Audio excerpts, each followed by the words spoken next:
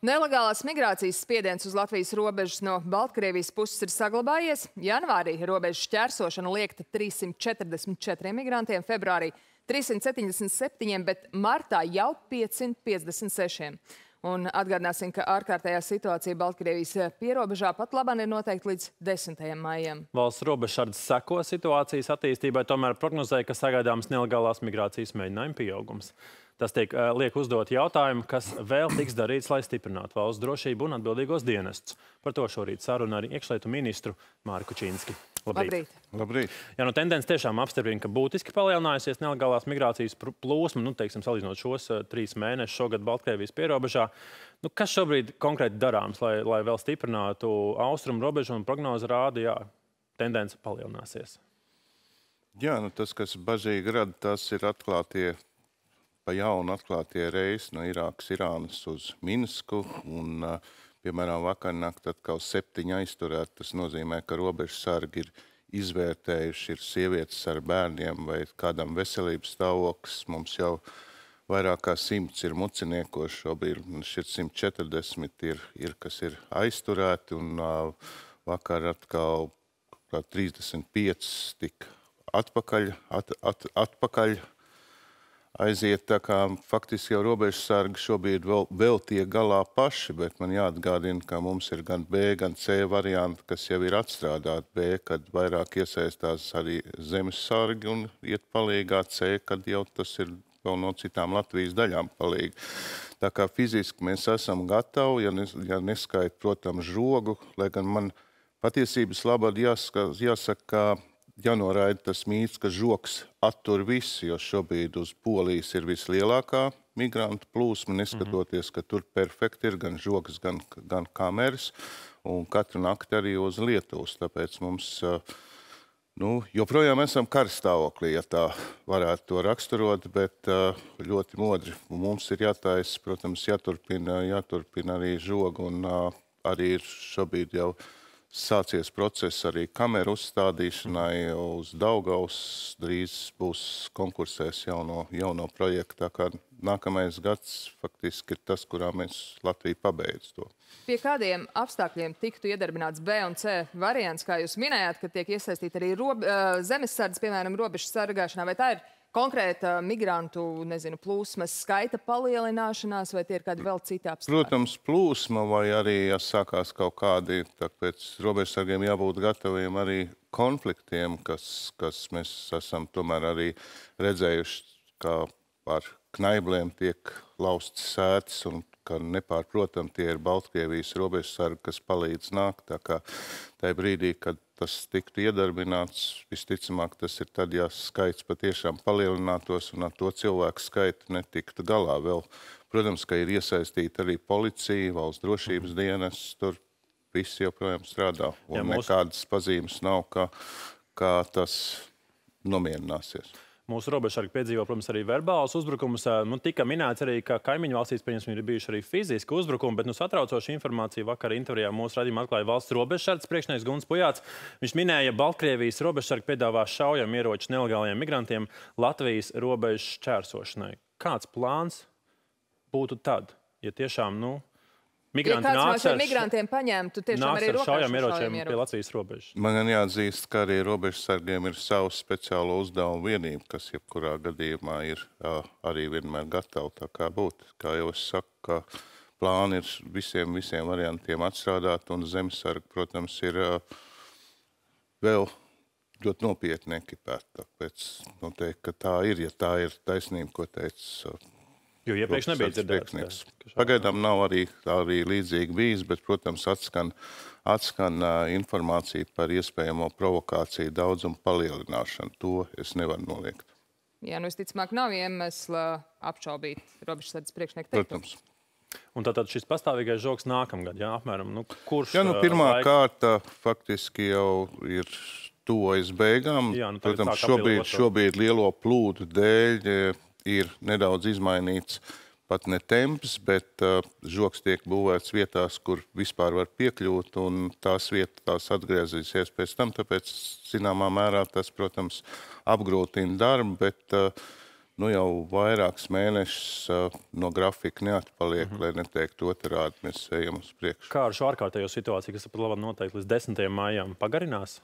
Nu, mēs šobrīd pētām arī citas likumdošanas, jo vairāk kārt tas uzsvērs arī, ka šai jautājumā mums jābūt ļoti vienotiem. Mm. Nu, jau arī uh, Somija, Igaunija, Latvija, Lietuva un Polija un visas valsts saņemot ārkārtīgi daudz, tā teikt, pārmetums no cilvēktiesību pārstāvjiem, no, nu, kas atrodas jāatzīst ļoti tālu no robežām un nezinu faktisko situāciju par to, ka tur ne tāda izturēšanās, tāpēc šobrīd uh, norit darbs sinhronizējot likumdošanu un šo ārkārtējo situāciju iespējams veidojot daudz saprotamākā stāvokļa, kas ļauj izdarīt uh, līdzīgas darbības, neuzņemt visus ar ziediem, kā to bieži vien mēs no vēstulēm lasām, bet, uh, bet tai pašā laikā nodrošināt drošību, jo vēlreiz drošība ir pats galvenais katrai valstī un Latvijai, protams, arī. Bet, ja jūs sakat, ka šobrīd nu, notiek arī sarunas ar reģiona valstīm, kas mums tepat kaimiņos, lai būtu tas regulējums līdzīgs, tad kad varētu pie tā līdzīgā regulējuma tiešām nonākt finišēt? Nu, mums ir, ir, mums ir ārkārtējā situācija. Ir līdz maija beigām mums ir laiks šobrīd. Es esmu ieplānojis nākošo nedēļu dodos uz Poliju un mēneša beigās uz Somiju. Paralēli mūsu darbinieki jau ir savākuši visu informāciju un domāju, ka uz maija sākumu mēs arī uh, būsim gatavi finišēt un valsts kopīgi. Nākamais, protams, ka mūsu valstīm ļoti daudz enerģijas jāpie, jāpielieto, lai, lai, lai spētu arī parādīt, ka šī situācija tie nav parastie bēgļi, šīs ir provokācijas. Cilvēki maksā lielu naudu, mēs esam arī pēdējos mēnešos uh, ir arestēts jau cilvēku mašīnas, kuras sagaida bēgus, tātad nolīgtie jau no tām organizācijām. Kurā vietā tās ir uh, arestētas? Latgals, Latgals pusē, protams. Un tie ir bijuši Latvijas ir bijuši, cilvēki? Nē, Latvijas gan, gan, gan, protams, ir kāds arī Latvijas. Piemēram. Gan Latvijas, gan citu valstu pilsoņi. Tas ir uh, Tas nozīmē, ka patiesībā šeit, šajā pusē mums darbojas iespējams cilvēku tirdzniecība. Nē, tā nav cilvēku tirdzniecība. Tie ir caur šiem tīkliem, caur telegrāmu, piemēram, kanālu nolīgt cilvēku no organizācijām, kas nodarbojas ar šo bēgļu pārvešanu. Un tāda, protams, kāds ir pieteicies. Nu, bet, ne jau aiz labas gribas, dom... par naudu noteikti. Par naudu, ne? protams, ne jau, ne jau aiz labas gribas nevalstiskās organizācijas ir uz robežas. Citi par naudu tur tikai parādās. Tas ir mhm. pilnīgi skaidrs. Un, uh, es domāju, ka kāds no viņiem, kad saņems reāli arī cietumsodu šiem vedējiem, tomēr, kas sapratīs, ka arī tā ir līdzdalība, līdzdalība, es gribētu teikt, kara darbībā. Par šiem arestētajiem transporta līdzekļiem vai varat atklāt, cik tādi ir arestēti? Nu, pirms divām nedēļām šie te? Jā.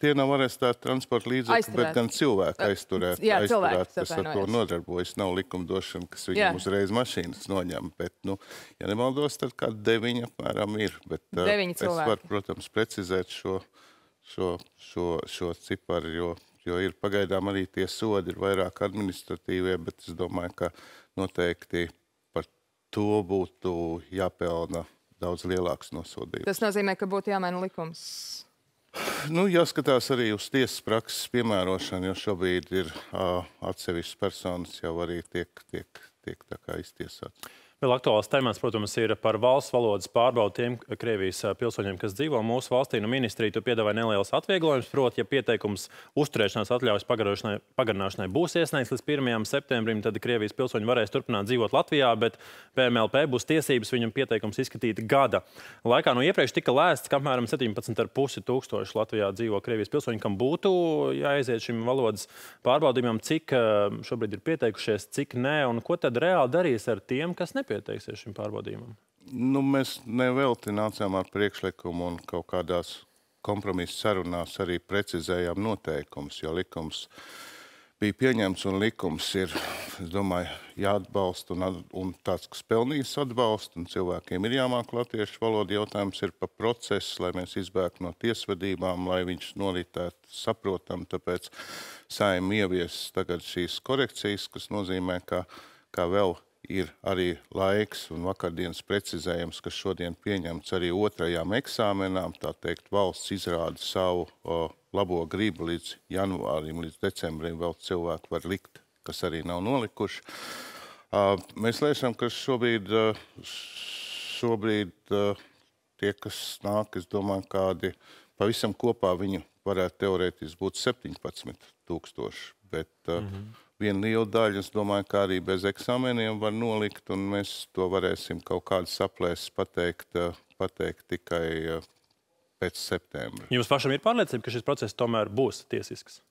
Šis process būs tiesisks, ņemot vērā, ka tas, tas, ko mēs saskatījām, kas ir lielais drauds tiesvedībā, arī, ka tev netiek dot otrā iespēja. Šādos gadījumos, ja tu arī vienreiz nenokārto, tev ir laika, un tas ir normāli, tev ir laika vēl iemācīties nolikt otro eksāmenu. Otrs process, protams, mēs nevaram pieļaut milzīgas rindas, jo 1. septembris, ja ir pilnīgi visiem, tas, protams, apgrūtinās nu, tādu pārslodzi, neviens netiks galā. Nākamais, ka, kas tika izlabots, ka uh, pēc vecās redakcijas 1. septembrī visiem pazūda pakalpojums pie veselības aprūpas un pārējiem visiem. Tagad izskatīšanas laikā, kas ir līdz 24. gada beigām, nekas nepazūd. Tātad šai laikā, kamēr tiek skatīts, viss vēl notiek un cilvēkiem ir laika arī uh, pārlikt arī kaut uz, termiņu uzturēšanas atļauju, uz laiku ņemt, ja viņiem ir radinieki, vai nu, katrā ziņā no šī procesa, lai nebūtu tā, ka mēs dabūtu ļoti liels kādas pārmetums starptautiskajā tirgu. Ne Maskavā, par to mēs bez ilūzijām varam teikt, dabūsim tā kā tā, bet Jā, bet nu, par tiem cilvēkiem, kas tomēr nav pieteikušies šim valodas pārbaudījumam, kas tad ar viņiem tālāk notiek? Viņus kaut kā meklēs? Nu, viņi saņem tie, tie kuri, kuri nav, viņi, protams, saņem, saņem, saņem uh, brīdinājumus, saņem uzaicinājumus. Un, un, un ar kādu laiku. Ja neatsaucas? Nu, skatīsim to, kas būs tad, kad viņš notiks. Jā, nu skatīsim, bet no simts dienas pagājušas valdībai amatā, arī jums savā amatā, jūs esat nu, paudis tādu gandarījumu par papildu līdzekļu piešķiršanu valsts iekšējai drošībai un darbu sākšanu pie civilās aizsardzības un krīžu pārvaldības sistēmas izveidas. Nu, starp citu, premjeras Krišāns Kariņš šobrīd budžeta kontekstā visām ministrijām ir eh, uzdevusi pārskatīt eh, savus izdevumus un meklēt iespējas, kur, piemēram, šo naudu varētu vēl papildu atrast un pārdalīt tālāk, nu, piemēram, veselībai vai izglītībai. Kā izskatās iekšlietu ministrijā? Vai vispār šādu naudu, ko pārdalīt šīm minētajām nozarēm, var atrast? Nu, jāatzīst, vispār nauda ir divās daļās. Viens ir atalgojuma daļa, un tā pilnīgi noteikti nepietiekoša arī iekšējai drošībai. Mm -hmm. Pretējā gadījumā mums netrūkt policistu, ugunsdzēsēju un pārējais. Par to nevar runāt, runa būt.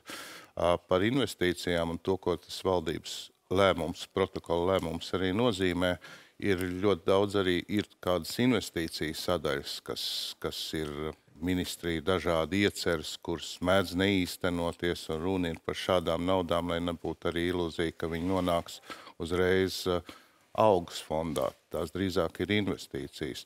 Šis lēmums vairāk liek nu, rūpīgāk skatīties, lai savus plānus īstenot ar visu sarežģīto iepirkumu procesu, ar visiem objektiem.